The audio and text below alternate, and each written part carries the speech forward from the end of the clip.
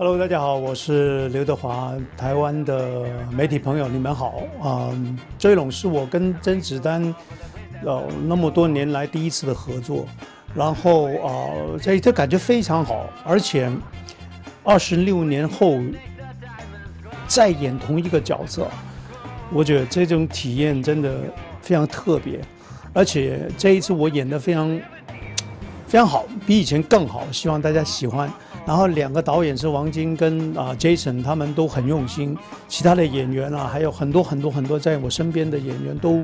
啊，都真的拼了命去把角色演好。然后这一次我没办法跟子弹一起过来跟大家见面，啊，抱歉，希望大家继续支持我们这部电影《坠龙》。